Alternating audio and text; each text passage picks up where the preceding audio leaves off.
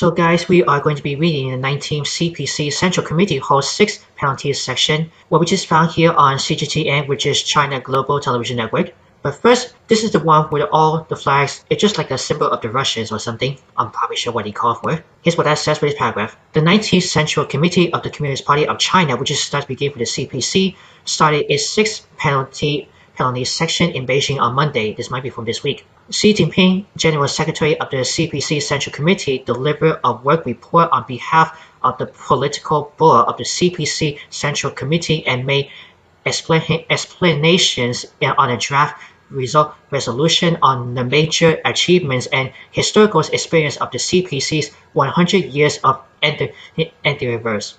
The plan, the planning note is scheduled to last until Thursday, according to the, a decision made uh, at a meeting of the CPC Central Committee Political Board on October 18th. Now you can read more about as China embarks on new journey, why the CPC planning plenary section matters. This is from the sources of the Xinhua News Agency. Hopefully that's about 513 thumbs up. I'm going to put this article into the description box below if you want to check it out for it. If you're really interested about the 19th CPC Central Committee Hall 6 penalty section, write down in the comments below if you want to see something. Always have to make sure to view all videos watch before sharing.